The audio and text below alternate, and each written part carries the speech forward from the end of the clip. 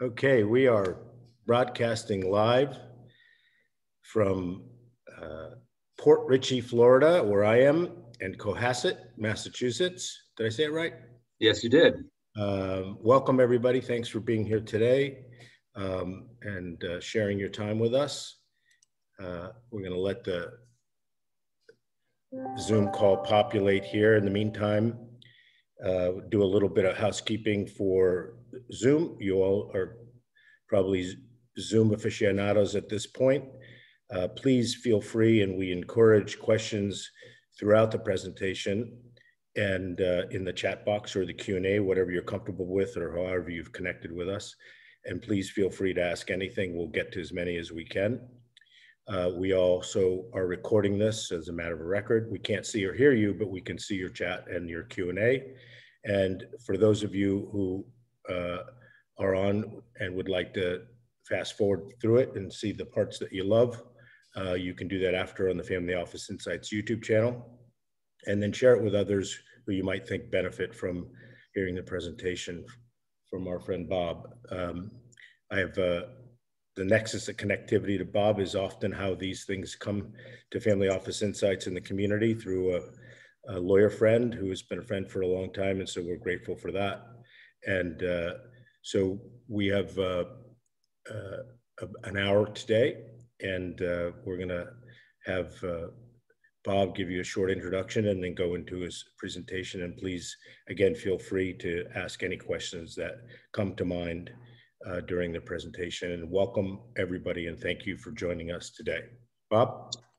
Arthur, um, thank you for setting this up and, and thanks to everybody who's um, logged in. Uh, good afternoon. Um, Hotels is, uh, is me, uh, Bob Thomas, and Deirdre Savage. Uh, Deirdre has a family obligation and, and couldn't be here, so you've got me. Um, the agenda today uh, I'll talk a little bit about our backgrounds and how we got into um, the hotel business, a little bit about our first uh, hotel as a kind of a case study and an overview of some projects we've done since then, and then um, looking ahead. So um, as I said, um, Saltaire is uh, Bob and Deirdre, Bob Thomas and Deirdre Savage. We both uh, have backgrounds in historic preservation and housing. Um, we both studied historic preservation at the graduate level.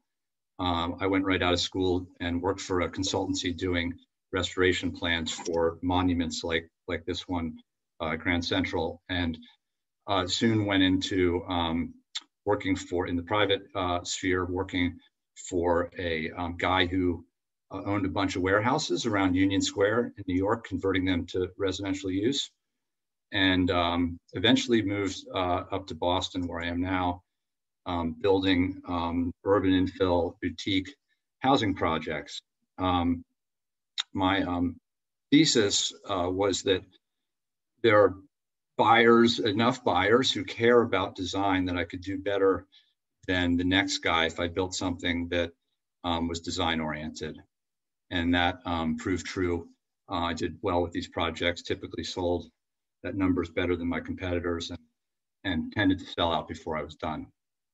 Um, meanwhile, Deirdre was in Cambridge, um, also building housing. She'd formed a partnership, a design build partnership, and they built hundreds of units of, of housing in Cambridge uh, that's still valued to this day. One of her partners um, from that time uh, is, is one of our lead investors now. Um, uh, we both, um, we were introduced by, by friends um, when I moved up here. Uh, we both have an interest in uh, what we call ugly and unloved buildings. Um, we, uh, uh, we, we feel that these buildings represent an opportunity um, that's overlooked um, by others who don't tend to see past the, the building, um, the, the, the, the, condition of the building. Um, this, uh, uh, this building here uh, is our first uh, excuse me, um, is our first attempt at a uh, hotel project that, that didn't take. Um, we were shown this building as a housing project. Um, we, uh, our plan was to convert this building to housing, but when we um, walked through it, we discovered that it um, it really lays out and feels like a hotel.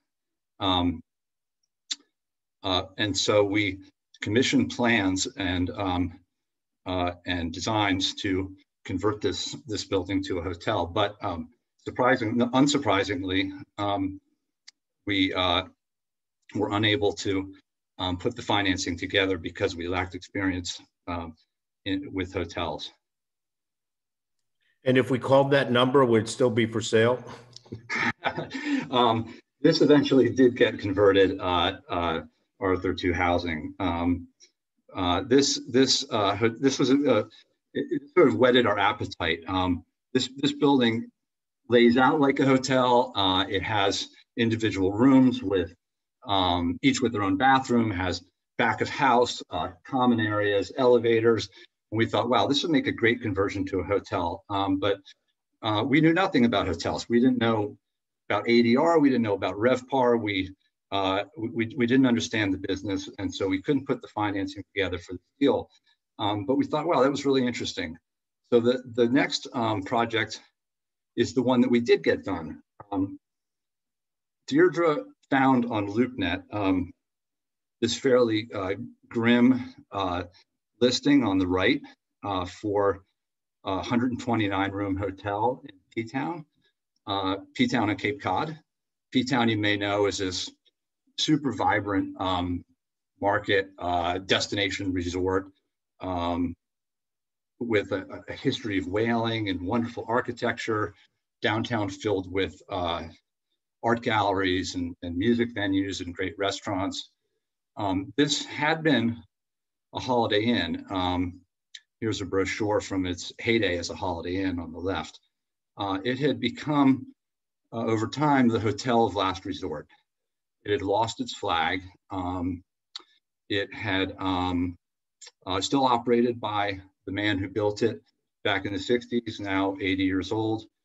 He's selling this hotel through a, uh, a residential broker who's a friend of his, so it's not being marketed to um, hospitality people. It's just out there on, on LoopNet with this sort of sad listing. Um, and Deirdre convinced me uh, to go take a look. There's almost uh, no financials available on the hotel, which is a feature of a lot of the owner, operated stuff that we look at. Um, the, the owners tend to, uh, owner operators tend to not keep their financials in um, an industry standard format that tracks performance like uh, occupancy rate, RevPAR. Um, they tend to commingle um, their own finances, I mean, excuse me, their own expenses, uh, their own lives with these hotels. So it's hard to tease out operating uh, performance. And that, along with the quality of this listing, excluded a lot of um, potential buyers. So um, uh, we, we go down there, Deirdre convinces me to go down and we discover this sort of sad hotel. Uh, these super dated rooms with the burgundy bedspread, old TV, lounge. Um, this lounge would have a view of the ocean, um, but the folding wall that uh, separated it from that view had gotten stuck in the 80s and they never unstuck it. So this thing sat there behind that wall all that time. Um, however, what we also discovered was this amazing site, a hotel with basically superb bones. The superficial parts are, are dated and are worn, but the hotel itself is pretty great. Four and a half acre site, uh, a mile out of downtown, right on Cape Cod Bay, uh, wonderful water view, all this parking, uh, spacious common areas. Uh, we think this is a really uh, perfect candidate for a uh, uh, for a, for a redo. Um, and we've been looking at what others have done with these um, motel type properties uh, to to infuse new life uh, into them. You know, and again, our, our interest in these ugly and unloved buildings, we really feel like often they're they're overlooked and through some creativity, um, they can be reused at a number that makes a lot of sense. Um, this is uh, Phoenix on the upper left in San Francisco by Liz Lambert of Bunkhouse Group. The ACE, uh, Palm Springs in the lower left, uh, the Valley Ho in Scottsdale, and um, uh, the Postcard Inn in St. Pete's Beach, all uh, old motel buildings that had been uh, very successfully um, uh, reworked and made exciting and new again. Uh, so we were able with with the um, had been called the Cape Inn to um, put the hotel under agreement and put together a capital stack that included an equity partner who saw the vision and importantly had a hospitality background so we could learn from them. Um, we put the hotel under agreement and closed at what we imputed to be about a 10 cap on historic NOI. Again, um, hard to know exactly because the financials are so intertwined with um, the seller's life, but um, you do a little forensic accounting and we think we closed at about a 10 cap. Um, excuse me. Um, we spent the first summer running this hotel, um, putting together our, our team, our architect, our operator, our branding partner, food and beverage people, um, even a, a, gallery partner who uh, we would have run um, rotating exhibits uh, through the, the hotel's common areas. Uh, we uh, closed the hotel in October and um, did the work and opened uh, in uh, May of 2011. when you when you bought it mm. and put it under agreement, did it have 20% occupancy, 50, 60, 70? I, I honestly don't remember the, the occupancy except for that it was um, the occupancy was was okay. I mean, probably below market. It's really that the rate is so much lower than it could be. Um, this is the hotel of last resort for people who are showing up on a Friday uh, in P Town with no reservation, and they just line up and hope they can get a room. These take a shower. Take a shower. They bring their own beer and set set up a, a lawn chair out in front of the room and drink their beer instead of the beer from from the bar. Uh, it, it, just had a ton of, um, I think, more than anything, rate potential here. Um, of course, you know, at peak times, um, a hotel like this is going to do pretty well on occupancy. The, the part where you start to do better is in, in non-peak areas uh, of the year, uh, midweeks, shoulder seasons, um, and that's where they would have really been um, flagging in terms of their performance.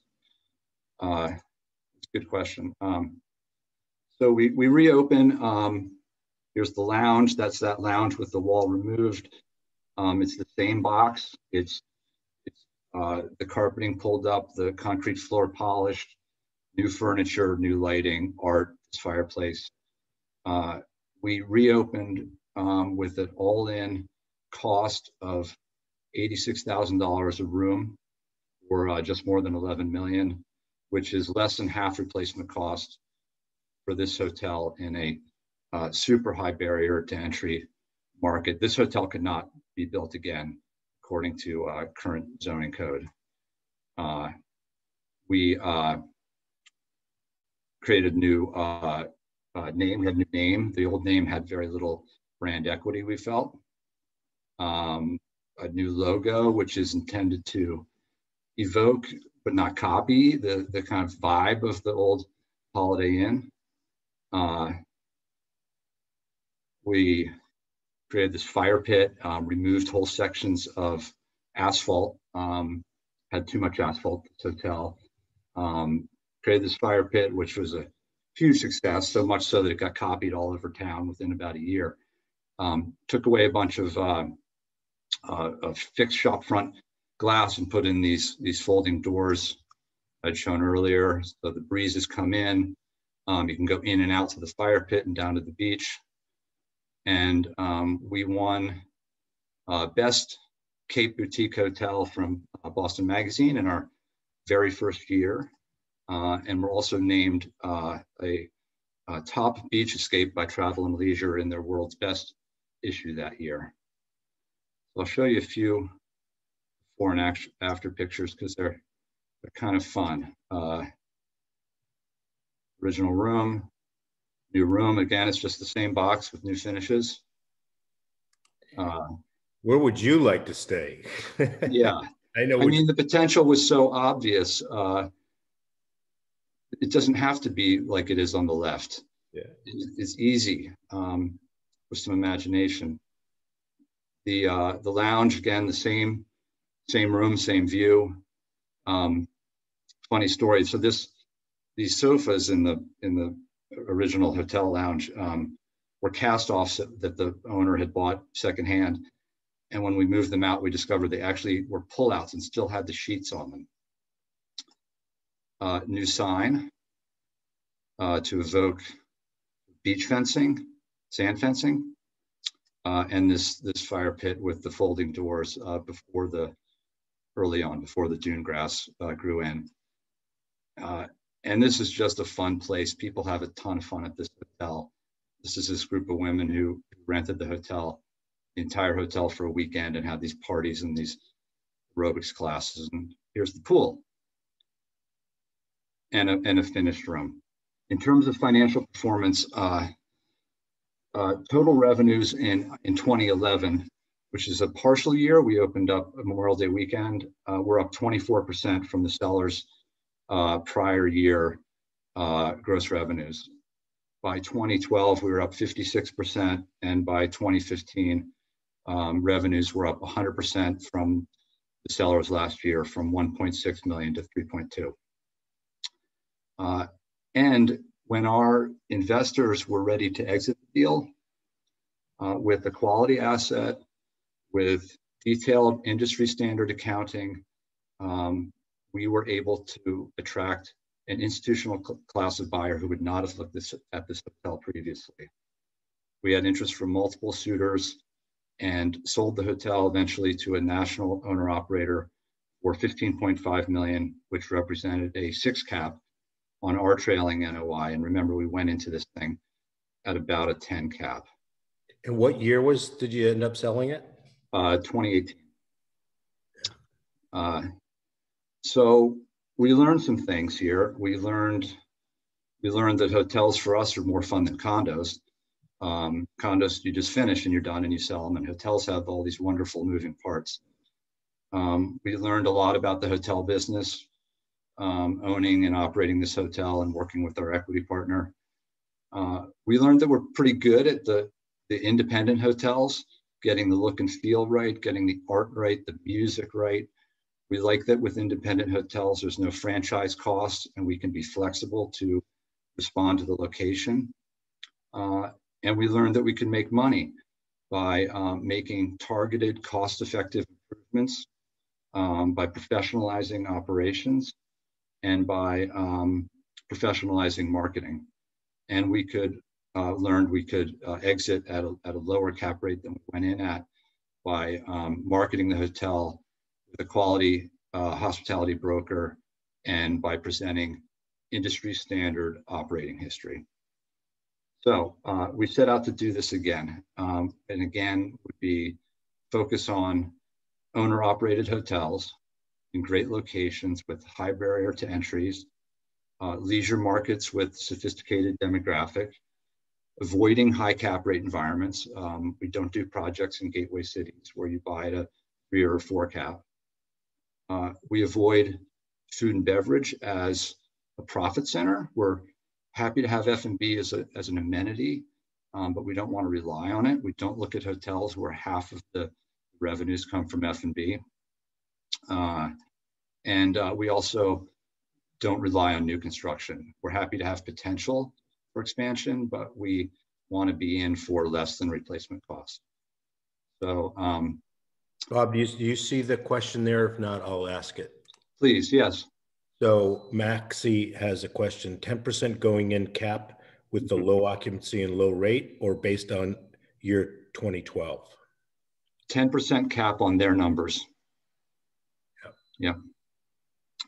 Uh, any other questions Yeah. that I'm missing? Okay. Uh, th- this hotel, uh, the Shire Woodstock, different animal but fundamentally similar uh, high barrier to entry market. Uh, uh, the people just come 12 months a year, maybe not so much in November, but um, it's a year round market. Uh, anchored by the Woodstock Inn, um, Woodstock, Vermont, anchored by the Woodstock Inn, which is owned by the Rockefeller family and sets the uh, high bar for rate. Um, this hotel has uh, 40, when we bought it, has 43 rooms and a 4,000 square foot owner's residence. Uh, we purchased this for uh, 4.35 million, which is a um, slightly better than a 10 cap on uh, sellers uh, trailing NOI. This hotel is different in that bought it with ton of repeat business. People really like this hotel. Um, so our guiding mantra was if it's not broken, don't fix it. But it was dated. Um, so our improvements were basically a process of removal. Um, these rooms had yellow flowered wallpaper, flowered bedspreads, super ugly art, kind of toned the thing down, um, brought in uh, uh, amenities like a high, super high speed Wi-Fi, um, charging ports by the bedsides that hadn't been there, you know, so you don't have to crawl under the bed to plug your phone in. Uh, Roku streaming devices for the TVs, Riverside seating. There's a wonderful Riverside at this hotel, games, cornhole and stuff people love. Um, we kept the name, a lot of brand equity here. Um, people had a fondness for this hotel, um, but created a new updated logo. Uh, shots of the rooms, um, old fashioned New England, which people really respond to uh, and, and, come back for year after year. We did um, convert the the 4,000 square foot owner's residence to seven more rooms. So now we've got 50 rooms and created this, uh, this gathering space, which can be rented independently. So you can rent a bunch of rooms and have this gathering space and effectively make a suite of any size that you want.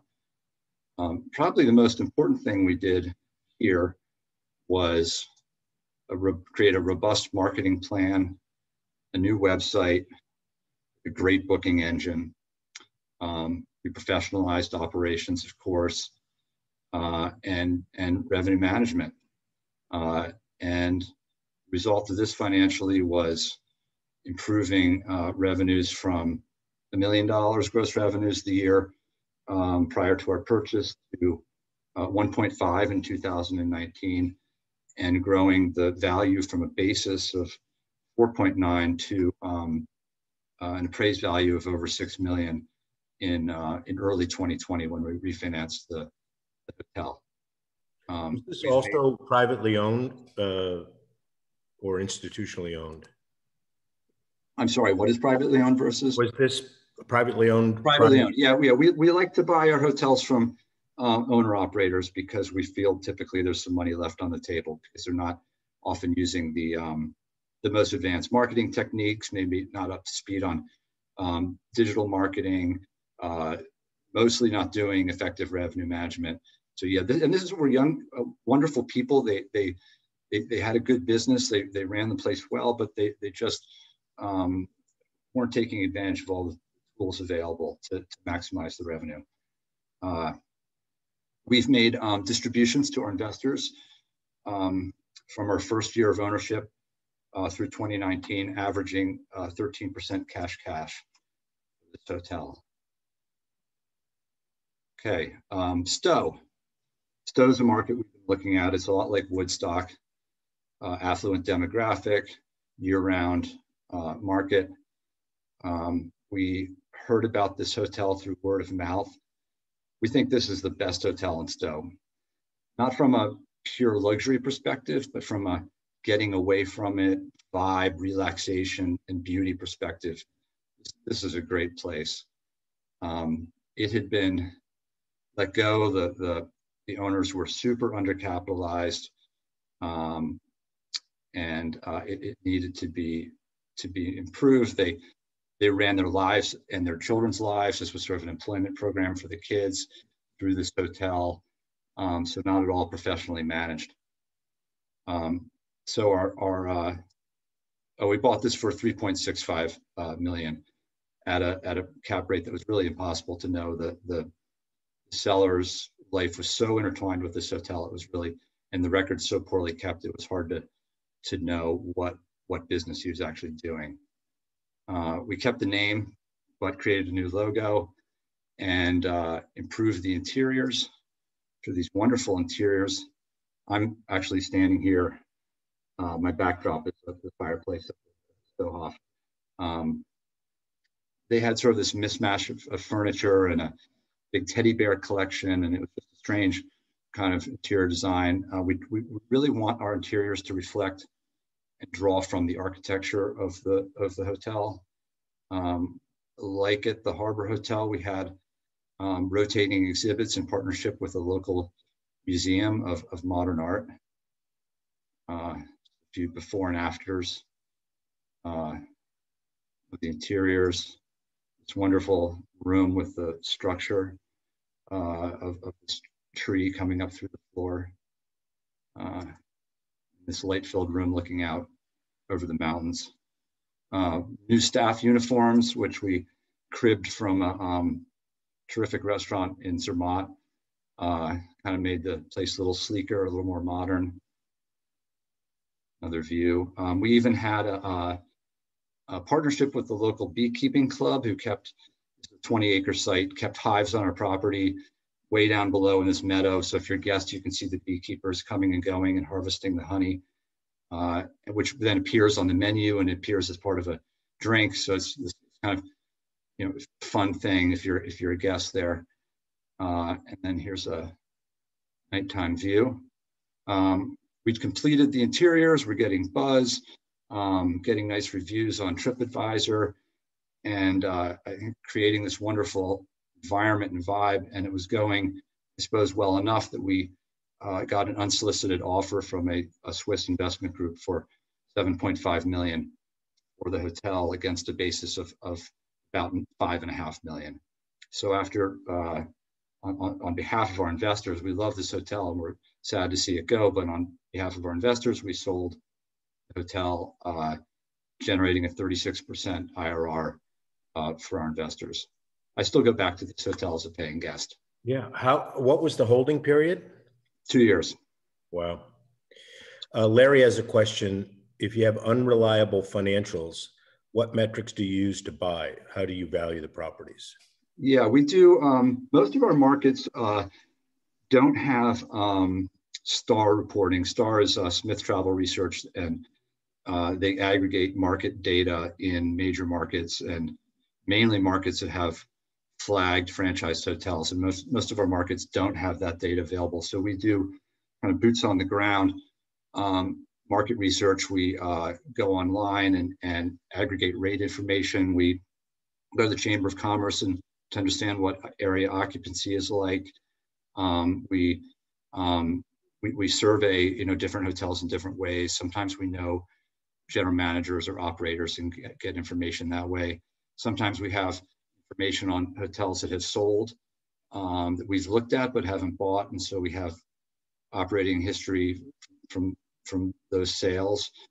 And um, so we, we build um, market data from, from the ground up and then build operating projections um, based, on, based on that information. Did I answer the question? Yes, thank you. Okay. Uh, and uh, lastly, uh, hotel, the Ellery, uh, our most recent hotel, this is in Northampton, Mass, home of uh, Smith College. Northampton's a super vibrant um, college town with great music scene, uh, art scene, a lot of expat New Yorkers who've moved there for work and for other things, uh, terrific restaurants downtown. And this hotel sits almost adjoining the Smith College campus. And um, we've been looking at this hotel. I have friends in Northampton uh, had been driving by this hotel, had kind of snuck in and looked around, and it is just not meeting its its potential. Had been really let go, um, and, and, yet in this amazing location, um, a prior non-conforming use, like like so many other hotels, couldn't be built again. Um, we were we approached the the owners, were able to buy out the controlling partner. Um, the other partners stayed in. They, they wanted to see this hotel revitalized and they, um, they saw its potential and they stayed in. Uh, and so we uh, were able to, uh, to buy the hotel and um, and, and, move ahead with doing what we do. Uh, so we um, we changed the name. The, the old hotel had had no brand equity. My friends in North, Northampton would not refer people to uh, the Autumn Inn was the old name to the previous hotel. Um, they would not refer friends and colleagues to the hotel. Uh, we changed the name to the Ellery, named after William Ellery Channing, who's a transcendentalist poet who had lived for a time in Northampton uh, back in the 1850s. We professionalized the operations, uh, uh, created this new logo, uh, built a new website. The old website was virtually non-functional, um, very hard to book a room. Um, robust booking engine as with the other hotels. Uh, redid our interiors, before and afters. What we want here is to create a um, serene, dignified, and comfortable, deeply comfortable night stay.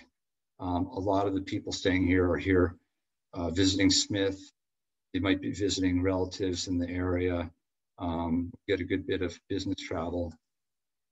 Here's the uh, lounge reception area. This is a uh, the picture on the right. This is a reproduction of Thomas Cole's painting, uh, the Oxbow. The Oxbow is a geographical feature just down the road um, from Northampton.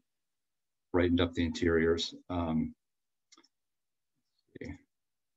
here's the uh, reception. And, and, and, as with the other hotels, it's the same room, it's the same box, different uh, finishes, lighting, uh, furniture uh, this hotel. Um, we have what a uh, contrast. Please, yeah, yeah, yeah. It's, this was really this was so. A lot of these hotels, we feel like it's it's not that hard. It's you know you can see what it needs to be um, when you, when you go into the hotel. Um, this hotel is, has not yet experienced a full uh, stabilized year. We we opened, we closed for renovations, reopened in the summer of 2019, got to March and had to close. We opened in the summer again, but we, we didn't get to a full stabilized year. So I don't have numbers to report, but I can say that um, the hotel's surviving. It's living on, on its revenue. We've not had to do a capital call, which I think is a win uh, in, a, in a brand new hotel like this. And we have outperformed our competitive set this is a market where Smith Travel Research does do market reporting. Um, so you, you select a, a, other hotels you consider competitors and then report your own operate, operating performance to Smith and, and they will tell you how you're doing relative to your competitive set. In our most recent report, we were doing 129% um, of RevPAR, uh, revenue per available room, um, year to date against our comp set, which is, uh, we think, a pretty big win for a brand new hotel. How, um, how many keys in this one? Yeah, uh, sorry, I should have said 30, 32 rooms. Uh, that's 30 regular rooms and two uh, suites. They're kind of extended stay type suites. Um, this was a $2.1 million buy.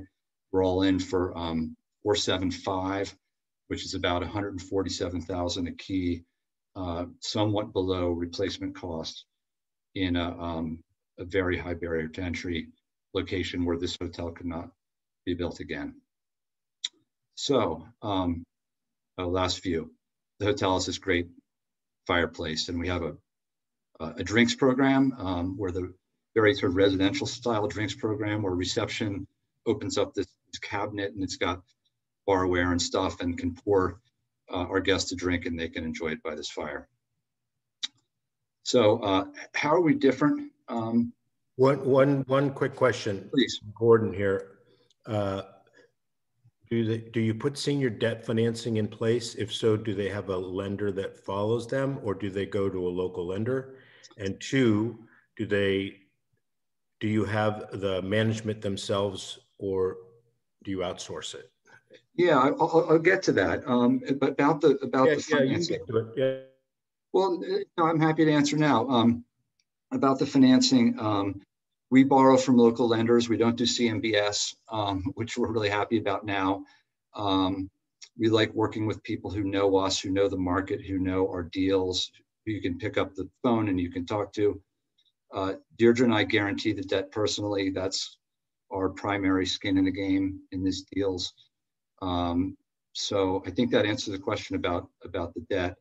Um, about um, about management, yeah, we we like to work with a um, third party manager, and I'll, I'll, get into some more detail about that in a bit. But our um, we we don't have an aspiration to be the manager at these hotels. We want to focus on uh, the look and the feel and um, and financial performance uh, and kind of higher level stuff, and not get um, in, involved in um, fixing the toilet on, on Christmas Eve or um, hiring the new front desk agent. Um, we want to dovetail with our operator um, to work on um, being sure that the hotel is positioned in the way we want it to be positioned.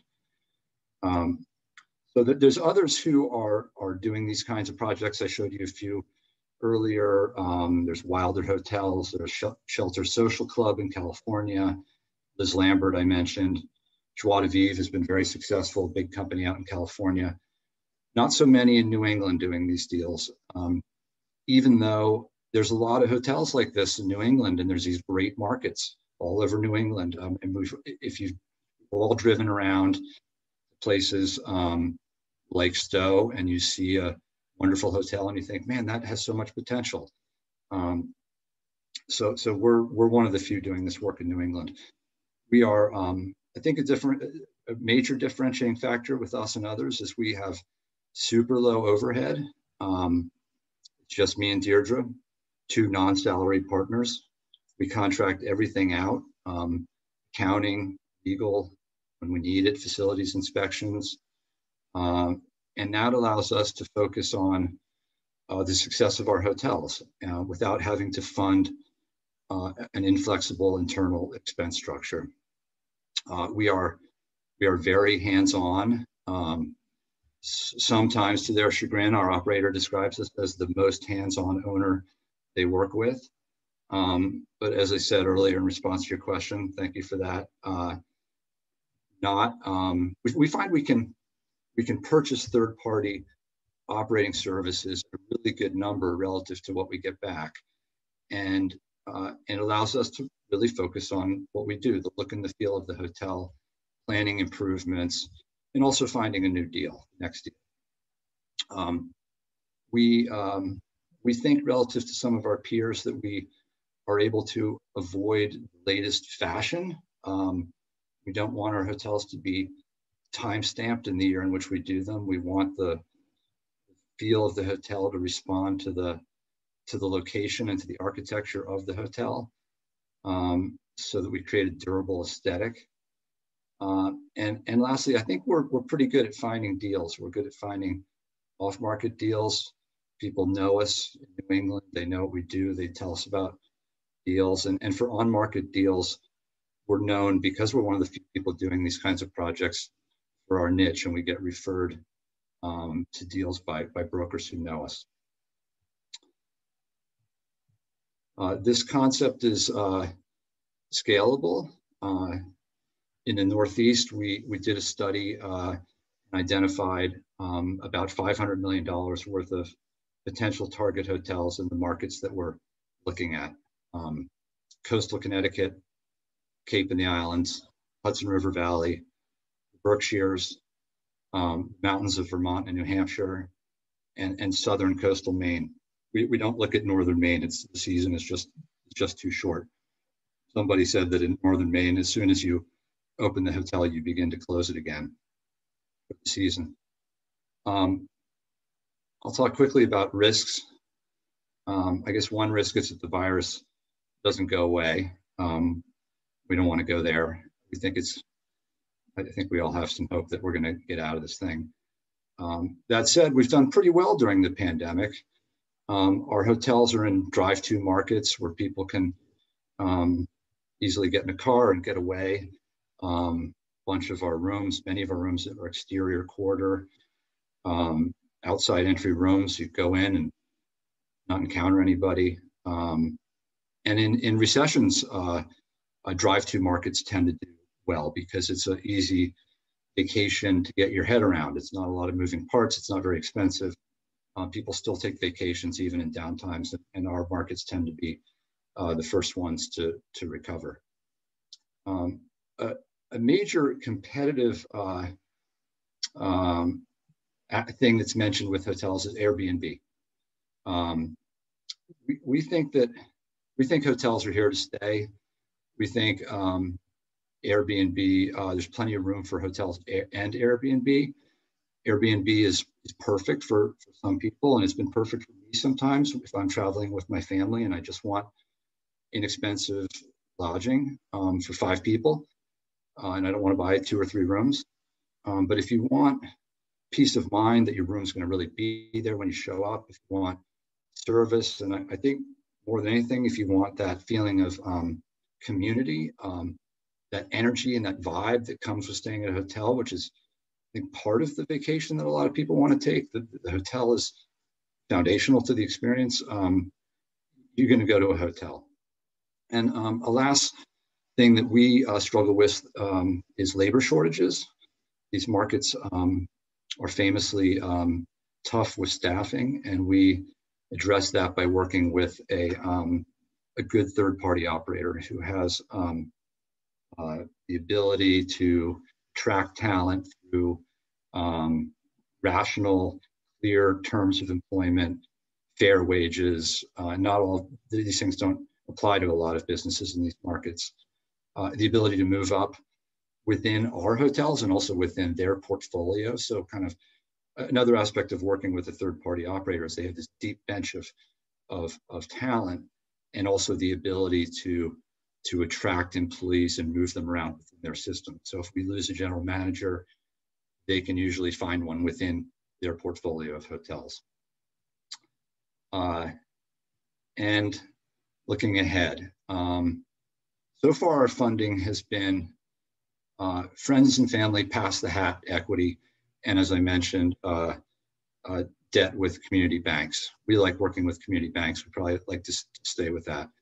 Um, we're looking for new equity relationships to do additional deals and do um, larger deals.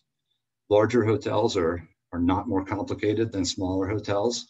Uh, we know that having done the Harbor Hotel, um, the biggest one of, of, the group, 129 rooms, um, they just cost more money, but the, the workload is more or less the same. Um, and uh, prospective returns. We, as I said, we like to buy to 10 cap uh, or better.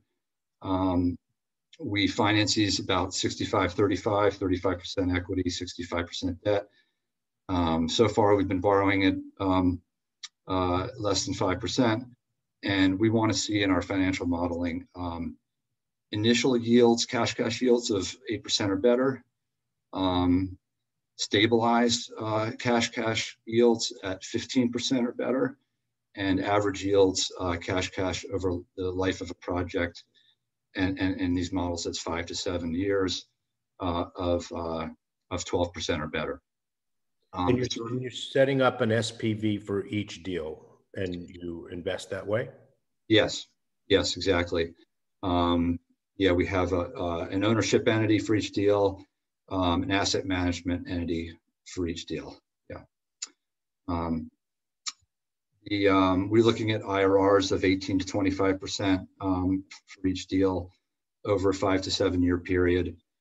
We really want to hold these hotels longer. We think it makes sense to, to hold them longer. They start to really spin off cash. Um, the you know seventh, tenth year, you're you're you're spinning off uh, high teens cash cash. Uh, but we honor the wishes of our investors. Uh, so far, uh, Every one of our hotels has made money with the exception of the Ellery, which is too soon. Uh, we think that will make money. We've never lost uh, a single invested dollar. Um, and we're always looking at, um, at new deals. Uh, I'll give you a quick example of one that we've had our eye on in, uh, in Stowe. We'd like to get back to Stowe. We like that market. This is the Stoweflake. It's one of the big three hotels in town. It's 117 rooms was one of the best hotels in town for a time, um, for a long period of time. It's uh, now uh, undercapitalized, a uh, bit of a leadership issue. It's family owned, and so there's uh, family issues in terms of, of leadership. Um, this is, uh, but, but all the potential in the world, central location, right where, where you want to be, um, still has good um, kind of vibes in the market, um, good, good uh, goodwill towards this hotel, but needs an uplift. Uh, it's a, uh, by our model, a $21 million uh, all-in cost.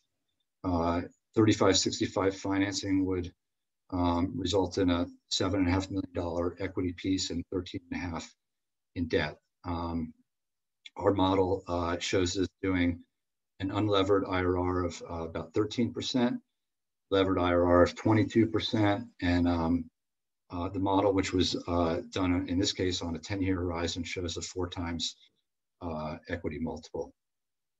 Uh, so thank you. Uh, that's that's the end of my presentation. I, I appreciate everybody attending, and um, if you have any questions, I'm, I'm I'm happy to answer them. Yeah, we've had some good questions, and here's a, a couple more from Jim. He says, "Are you consistently getting 65% leverage with your senior debt?" yes sounds high. No, that that's about that's about in our experience that's about right for a hotel deal. I wouldn't want to go higher, but no, 65% is what we've been getting. Great. And then he says, in light of COVID and the stress on hospitality, do you still see lenders providing financing as you have seen it in the past? Not right now. Um, uh, it's going to be this winter. Um, hard or impossible to to put debt on a new hotel acquisition. I, I believe that will change. Um, you know, hotels are not going away. It's just going to be a tough winter um, with respect to um, putting financing on new deals. Yep. Interesting. Is uh, are any of the data providers, some of which you mentioned, um, perhaps others, about travel, have any metrics on the trend of people traveling in their car rather than getting on planes to take a break with their families? Yeah, that's the kind of thing that gets discussed in, um, you know, the industry newsletters and webinars and things that, that one pays attention to. Yeah, I mean that's what drive-to markets are killing it. Um, and I don't remember, you know, specific numbers, but but if you need to get in an airplane to go there, you're not doing well. And if um, some people, this is not true of our hotels, we're doing pretty well. Some places claim to be doing better than they ever were pre-pandemic because there's so few options for getting away.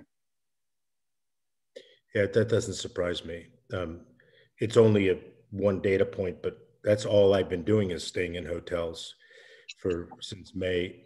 More, yeah. I mean, that's not exactly true, but sixty percent of the time. Um, uh, doesn't mean that others are, but uh, I think there's definitely a trend there. Larry has a question: Do you have a setup for the next project, and how much money could you uh, or do you want to deploy over the next three years? Well, the, I mean, the next project, the one that's that's that's front and center on our radar is is is the Stoweflake, uh, $21 million deal, uh, seven five in equity. We have to um, deal with the debt piece. I think that probably happens by um, putting the hotel under contract subject to financing with a longer horizon. Any anybody selling a hotel now knows that that there's going to have to be some waiting um, to be done to get the debt in place. Um, so that's a that's a seven uh, and a half million dollar check, and that's about that's about as that's enough project. That's that's a nice deal that would keep us busy for um, you know for a solid couple of years. And what's the, what's the investor base look like now? You don't have to tell me who they are, but uh, do you have 10, 15, 20 investors? Do most people roll into the next deal that you're doing? What's how you? Uh, we have uh, eight or so. Yeah. Yeah, eight or so investors, um, ranging from pretty small money up to over a million dollars. A million and a half is a for a time, a, a two-one investment was our biggest, and then we we sold a couple projects. Yeah, that last project that you guys flipped. Yeah, that was just good for you. Timing, timing's good. Yeah. Uh, Jim is another question here. you mentioned a large investor in your first deal. Did they re-up on the other deals? Yes. Yeah. Yes. I'm trying to think. Uh, we haven't had any investors uh, who haven't stayed on for subsequent deals. We've, we've made money for everybody. So once we started making the money, they, um, they've stayed on. It might be totally idiosyncratic on each investor's tax situation, but are you structured in a way where they can roll things in without taking in current income? And I'm not asking you to give tax advice, but is there a accommodation for that? Um, we just issue K1s, um, yeah, for, for each project at, at, at the end of each year. So it is different for each person. I mean, some people invest as a corporation, some people invest individually. Yeah. Totally, totally makes sense. Is there a target shelf life for each deal? Well, um, we we um, honor the needs of our investors. Um, so uh, we have underwritten to five to seven year hold. We've underwritten to a 10 year hold. Um, we think it doesn't make sense to, to, sell the hotels at all unless you get a really great offer like the Stowehof, where you know it's just, it's just uh, too good to pass up. But something like um, I mean, the, the, the Shire right now just throws off great money every year, and it's hard to replicate that kind of return. Um, I don't think our investors in that deal want to sell it. Uh, we don't want to sell it. So it really depends on, on the investor group. Uh, but we, we make a, we have an understanding at the beginning um, of, of how this is going to go. In that case, that's um, by consensus. Have you been able to leverage the uh, cost seg and all that depreciation and all that business and in the holding or the SPV and then pass it through? I'm sorry, ask again, please. The cost segregation, depreciation, all the goodies that come. Yeah, along. yeah, that all flows through. Mm-hmm. Yeah. yeah. yeah, So there's some nice um, uh, write-offs that can occur. Yeah. Yeah. Cool. So, um, of the of if anybody in the group is interested in chatting further with you and giving you low cost debt. uh, or equity or both, right? It's the equity we really need. It's the, yeah. the, debt. You know, it is a tough time right now with debt, but I think I honestly think that's a short-term situation. It's these deals. Um, I should have said at the beginning. Um, these these deals because they're not uh, they're not flagged properties. You know, we're not doing La Quinta at Logan Airport, yeah. uh, and they're in these leisure markets. They're outside the scope of what most private equity wants to get involved in. Um, it's so, off their radar, yeah. Off their radar, and which is why we can buy them at a 10 cap. So there, there's not a ton of competition. Um, they're little, they tend to be a little bit too big for the, the one guy, um, but they're a little too small for somebody who wants to deploy um, 50 million bucks at a, at a whack. Uh, and that's good for us because we can buy them at a good number, but it also creates a challenge with um, capitalizing the deals.